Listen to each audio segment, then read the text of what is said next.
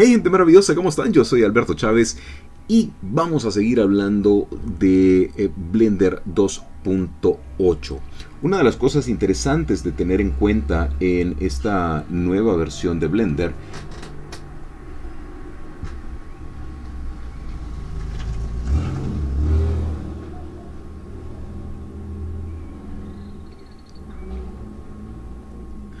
son los iconos que tenemos al lado izquierdo. Eh, un buen amigo me decía que no tengo los gizmos acá de transformación. Eso ha sido una decisión totalmente personal. Usted los puede activar desde acá. Vea. Acá dice Show Gizmos of All Types. Si yo le doy clic, me desaparecen todos los botoncitos de aquí arriba. Si se da cuenta, le doy clic y aparecen de nuevo. También puedo activar Move, Rotate, Scale y de esta forma pues yo tengo aquí mismito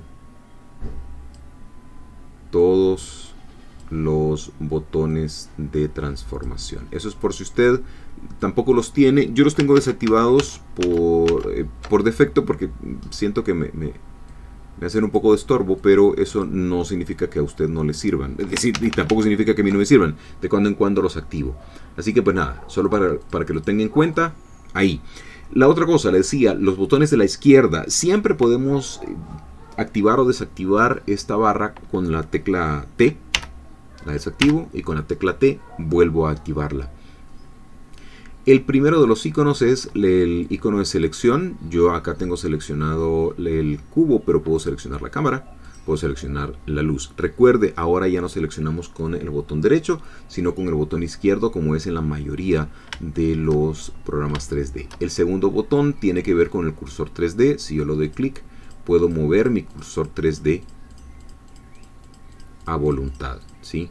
Recuerde que para ponerlo en el centro nuevo es Shift C y ahí tiene el cursor de nuevo. El siguiente es para mover mi, eh, mi cubo, vea, yo le doy clic y ahí tengo el gizmo respectivo de mover. Si le doy clic al segundo, pues está el rotate, como, como, ya habrá visto, pues aquí está el rotado. Esto es para rotar libremente, pero si usted lo quiere en un eje específico, pues ahí están los colores de los ejes, el eje Y, el eje X y el eje Z. Este es el escalado, aquí está el gizmo respectivo, este es el Grease Pencil. ¿sí?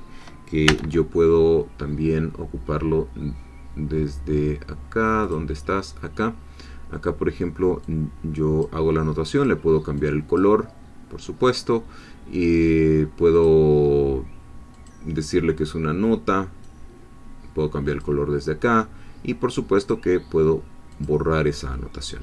¿Ya? Y finalmente está el botón de medir.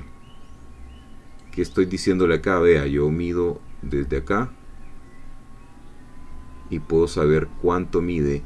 Aquí me lo da en metros. ¿Puedo cambiar la forma de medida? Por supuesto que puedo. Recuerde que eh, yo puedo cambiar la, el, tipo de medida. Siempre se me olvida últimamente porque no es algo que yo ocupe acá en la escena, en, el icono de escena, donde dice Units, yo puedo cambiar de métrico, por ejemplo, a imperial. Si usted, eh, por ejemplo, vive en Estados Unidos y está acostumbrado a utilizar pulgadas y pies, pero, pues, bueno, son las medidas que utiliza Estados Unidos. Yo no sé por qué, porque ya debería haber cambiado al sistema métrico. Es el sistema universal de medida. Pero, Estados Unidos. En fin, o puede cambiarle a non. ¿Por qué? Porque de esa forma va a hacerlo en unidades Blender. Pero bueno, regresemos al métrico. Y ahí está. Así que, pues nada, esas son exactamente las dos cositas que yo le quería mencionar el día de hoy. Como, bueno, cómo desactivar y activar los gizmos. Eh, déjeme esconder esto con la tecla N. Cómo activar y desactivar los gizmos de...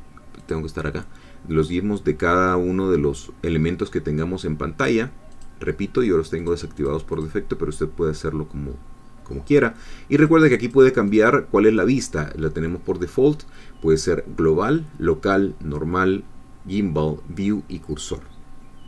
Esos son el tipo de, de... Dependiendo de lo que usted seleccione, por ejemplo, vea para dónde apunta cada cosa. Si está en local, no es lo mismo que esté en global, que es prácticamente el default es el global, ojo, también puede ser los normales, etcétera. ¿De acuerdo? Es decir, eh, eh, eso sí se mantiene tal cual, afortunadamente. Así que, pues nada, espero que se le quede. Lo otro que vimos, los botones de la izquierda en modo objeto. Por supuesto que si estamos en modo edición, se añaden unos pocos más que los vamos a ver en nuestro siguiente video porque recuerde, estos son consejos rápidos. Si es usted la primera vez que viene por acá, sea bienvenido, sea bienvenida. Gracias por estar acá y pues si le ha interesado, quédese, suscríbase que es completamente gratis y dele like y compártalo porque no hay nada más importante que hacer el conocimiento universal. Además, si es usted de los que ya tiene ratos de estar acá, infinitas gracias por la paciencia. Recuerde que acá abajito le dejo mis redes sociales, los links de mis libros, el link hacia mi blog. También en el blog puede encontrar algunos enlaces de descarga con archivos.blend que le pueden servir, sobre todo de las series que vamos haciendo los días domingos. Ah, también está la dirección de mi Patreon, etcétera, etcétera, etcétera. Nos vemos la próxima, damas y caballeros. Hasta entonces, larga vida al software libre.